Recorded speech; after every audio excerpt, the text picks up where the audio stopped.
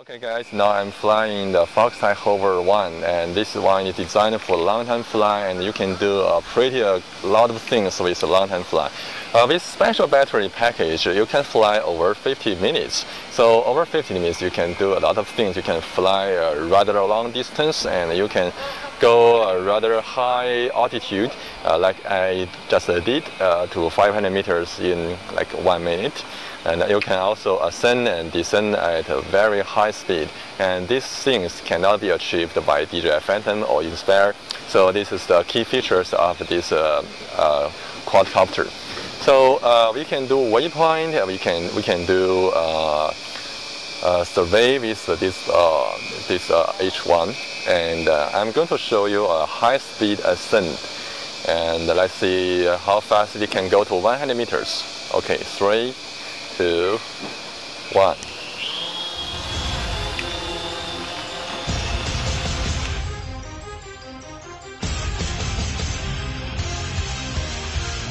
Around 20 seconds, not sure. And also the H1 is a high-speed one, 100 meters.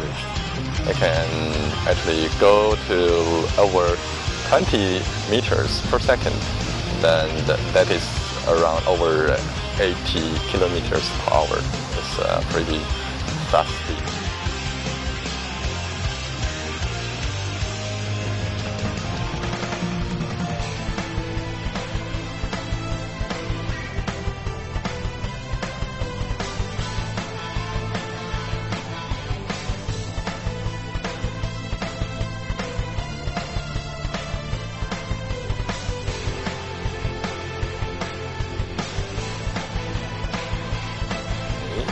Home is right here, going to land.